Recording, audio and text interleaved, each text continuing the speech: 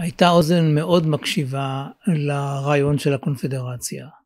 העובדה שבאים לבית הלבן, למחלקת המדינה, לקונגרס, סנאט וגם בית הנבחרים, מגיעה קבוצה של פלסטינים וישראלים ביחד ומציעה פתרון מפורט להסכם שלום אחרי שכל כך הרבה זמן אנשים כבר התייאשו מכל הסיכוי הזה להגיע להסכם בין ישראל ובין הפלסטינים. אומרים שזה אשם, שזה אשם, שלזה אין פרטנר, שלזה אין פרטנר ולא עושים כלום ואין פגישות אפילו ברמה בכירה אה, אנשים פתאום אה, היו מאושרים לראות אותנו ולשמוע מאיתנו ולראות שטרחנו לכתוב במשך שלוש שנים ספר שבו כל הפרקים שעוסקים בפליטים, בגבולות, בירושלים, בחילופי שטחים, בהתנחלויות בעיקר, בהסדרי הביטחון, כל הדברים האלה נמצאים שם, זה לא יעני כלאם פאדי, בידנא סלאם, שתי מדינות, לא, יותר מזה, אנחנו רוצים שתי מדינות, מאמינים בצורך בגבול, אבל רוצים שמעל שתי המדינות תהיה איזושהי מטריה של קונפדרציה שתאפשר שיתוף פעולה הדוק בין שני הצדדים.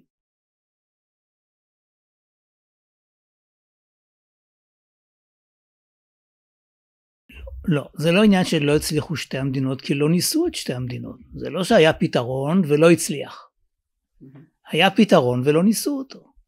והיו קיצוניים משני הצדדים שלא רצו בשום אופן כי הם לא רוצים לחלק את הארץ. כל אחד חושב מהקיצוניים הללו שכל הארץ שלהם, ולכן כל פתרון שיוצע שהוא קשור בחלוקה, ייתקל בהתנגדות שלהם.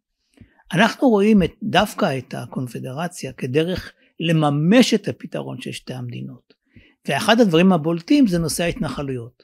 אנשים באים לשטח, אומרים תראו עם כל כך הרבה התנחלויות, אין סיכוי ש, שיפנו למעלה ממאה אלף אה, מתנחלים, אחרי שבעזה היה סיפור שלם מפחות מעשרת אלפים.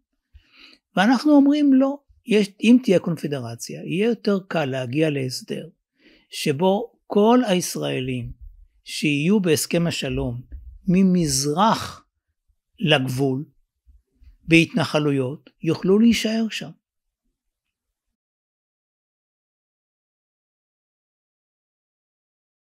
הקונפדרציה היא לפי המודל של האיחוד האירופי. במידה מסוימת גם מדינות המפרץ, איחוד מדינות המפרץ הוא סוג של קונפדרציה. אני מדבר על קונפדרציה פחות הדוקה מהקונפדרציה אה, של איחוד האמירויות. מה, מה זאת אומרת? לא יהיה מנהיג אחד, לא תהיה ממשלה אחת, לא יהיה פרלמנט אחד. כולו אחד לחלו. אבל יהיה שיתוף פעולה הדוק בהרבה מאוד נושאים ותיאום, למשל תשתיות. מדובר על שטח קטן, אי אפשר לא לתאם בתשתיות. במחלות, נגיד קורונה. צריכים לטפל בזה ביחד, כי אחרת זה, זה מדבק ומסוכן לשני הצדדים. אה, מים, משאב, משאבים אחרים, אנרגיה, אה, נושאי ביטחון. למשל חדר מצב משותף מול גורמים שמאיימים על שני הצדדים. מהסוג של, של דאעש ובעיות מהסוג הזה. ובנושא של ההתנחלויות זה אולי הנושא שבאמת יכול כאן לפתור את הבעיה כי ה... נדמה לי שהבעיה הכי גדולה של מקבלי ההחלטות בישראל זה שכדי להגיע לפתרון שתי המדינות מדובר בפינוי של הרבה מאוד מתנחלים. ואנחנו אומרים זאת לא תהיה הבעיה. כי המתנחלים הישראלים שיחיו מעבר לקו שנחליט עליו, לגבול שנחליט עליו, יחיו במדינה פלסטינית, לא בריבונות ישראלית כמו שהציע טראמפ, אלא הם יהיו חלק מהמדינה הפלסטינית, הם יהיו אזרחי ישראל ותושבי קבע פלסטינים. אבל אותו מספר, נגיד שיהיו כאלה 40 אלף, 50 אלף, שירצו להישאר מתוך הלמעלה מ-100 אלף, אותו מספר יהיה נתון גם בידי הפלסטינים, אזרחי פלסטין שירצו לחיות בישראל. הם יהיו, ימשיכו להיות אזרחים בפלסטין ויהיו תושבי קבע בישראל. וזה בלי קשר לפתרון לבעיית הפליטים, שזה גם פיצויים וגם נכונות לקבלת אה, מספר מוגבל וסמלי, אבל לא חסר משמעות של, אה, של פליטים פלסטינים בישראל כאזרחים מלאים, שהתווספו לאזרחים הערבים שחיים כבר בישראל הרבה שנים. בוודאי, מדובר כאן על פתרון שהוא מאוד דומה לפתרון של, של אה, קלינטון ב-2000, של יוזמת ג'נבה ב-2003. אנחנו לא משנים כאן את, ודאי שיהיה אה, גבול על בסיס 67, אותו השטח שהיה ב-67 לירדן בגדה המערבית יהיה לפלסטינים, שזה 6,208 קילומטר רבוע. בזה לא נוגעים, אבל רק משנים את התוואי. ש, שנוצר במשך השנים. והפתרון של ירושלים זה בירה לפלסטינאים במזרח ירושלים, ובירה לישראל במערב ירושלים. זה, בלי זה לא יהיה פתרון.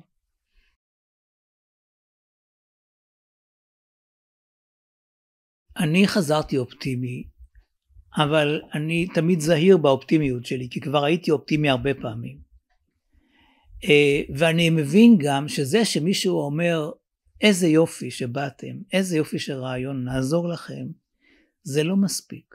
זאת אומרת, צריך להתאמץ מאוד מאוד כדי שהנושא הזה יהיה נושא על, על סדר היום היום. אנחנו קיבלנו באמת הערכה עצומה ממזכיר האו"ם, אנטוניו גוטרש. אה, שהוא גם ידיד אישי שלי הרבה שנים, והוא הוא, הוא פשוט יצא מגדרו, הוא אמר, אני כל כך שמח שבאתם אחרי שנים שבהם הנושא בכלל לא היה על סדר היום, ואני אעזור לכם בכל מה שאני יכול. איך הוא יכול לעזור? הוא יכול לעזור בדבר מאוד פשוט, לדבר על זה. לדבר על זה. לדבר על זה בעצמו, לדבר על זה עם מנהיגי העולם, לדבר על זה עם מנהיגי האזור. והוא הדבר גם לגבי הממשל האמריקאי. פגשנו את, את ונדי שרמן, הסגנית של אה, מזכיר המדינה. אה, פגשנו באמת אנשים מאוד מאוד בכירים, וממש לא שמענו אפילו ביקורת, אלא, אלא רק עניין, סקרנות ונכונות לעזור כל אחד, כל אחד בתחום שלו. מה שחשוב זה שאנחנו, הישראלים והפלסטינים, מוכנים לקדם דבר כזה ביחד. יש כל כך הרבה רעיונות, כל אחד לחוד מציע פתרונות, בעיקר בצד הישראלי. אה, אבל אה, הם, הם נושאים אופי חד צדדי. החשיבות של ההסדר הזה שאנחנו מציעים, שזה ביחד, כמו, כמו יוזמת ז'נבה שהצענו בזמנו. עשינו את זה ביחד. אני לא מוכן ללכת לבד לשום הצעה שלי שהיא. אבל הגיבוי הבינלאומי הוא קריטי. הוא לא יחליט. מי שיכריע זה הממשלות.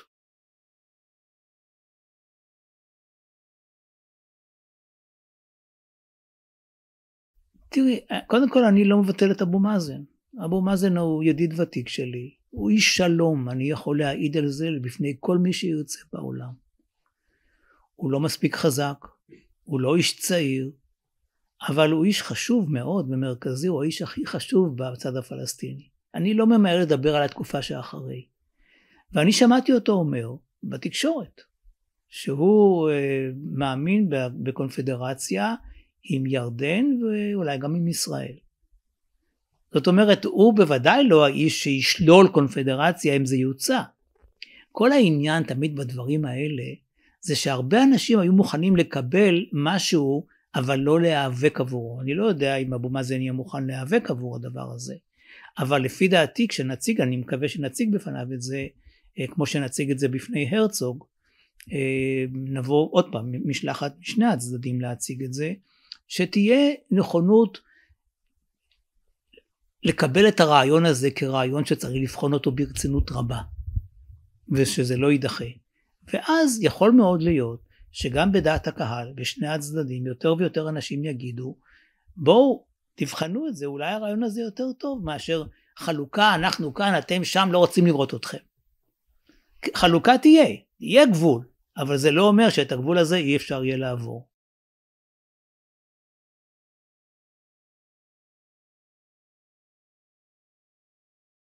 תראי, אני מאמין בפתרון של שתי מדינות. אני לא רואה בפתרון של הקונפדרציה אלטרנטיבה. ואני מאמין גדול בכך שאם ת... שהקונפדרציה זה דרך להחליק את הפתרון של שתי המדינות, לאפשר את הפתרון של, של שתי המדינות. פייסל חוסייני אה, ואני דיברנו על זה ב-1994 פעם ראשונה. והוא העלה בפניי את האופציה הזאת שמאוד מאוד עניינה אותי. אה, אני כתבתי על זה פעם ראשונה בניו יורק טיימס ב-2015 וקראתי לקונפדרציה. אבל עד, עד עכשיו, עד הימים האחרונים, זה לא היה מספיק ברור מה זה הקונפדרציה הזאת. אנשים לא יודעים את ההבדל בין קונפדרציה, פדרציה, אה, ו- ואני חושב שהספר שאנחנו פרסמנו בעברית, באנגלית ובערבית, וכיום היה, אה, אה, קיים היום לכל אחד שיוכל לרצה לראות את זה, יוכל להבהיר לאנשים שמדובר פה בדבר שאולי יכול לפתור את הבעיה המרכזית שמנעה עד עכשיו במידה רבה מאוד, לא היחידה, אבל מרכזית, וזה הפינוי של המתנחלים.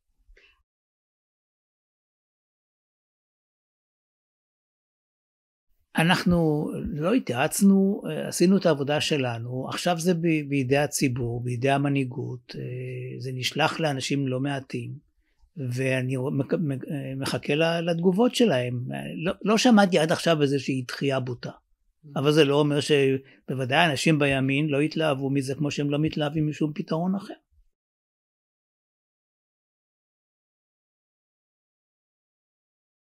אני חושב שהוא, יש לו סיכוי גבוה מאוד להצליח. אני חושב שהוא גם הגיוני מאוד, בעיקר משום שהגבול בינינו לבין המדינה הפלסטינית, כל גבול, כולל הגבול שהצבנו בז'נבה, הוא ארוך יותר מהקו הירוק. ולכן הוא מלאכותי גם, זה שטח של ביחד משהו כמו 26 אלף קילומטר רבוע, 27. אין, לא הגיוני, לא הגיוני לבנות את החומה בין שני, שני צדדים בשטח כל כך קטנטן. ולכן רעיון של קונפדרציה שמדבר על פתיחות יותר גדולה, ברוח של, ה, של האיחוד האירופי. עכשיו, לא כל אחד יכול ללכת לכל, לכל מקום שהוא רוצה, אבל יש את אמנת שנגן, ושהוא חלק ממדינות אה, אירופה, אה, אירופה, אה, ויש יותר ויותר ליברליזציה בתחום הזה של מעבר של אנשים וסחורות, הנושא של מכס. אני חושב שגם כאן מדובר בתהליך שלא יקרה ביום אחד, אבל האופק ייראה מראש.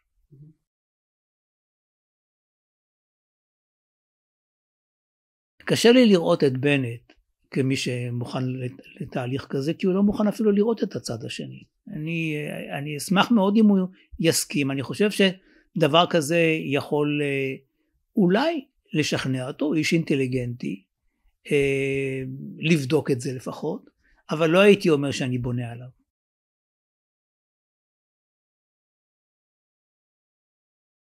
הממשלה הנוכחית היא ממשלה מאוד מאוד בעייתית ומורכבת.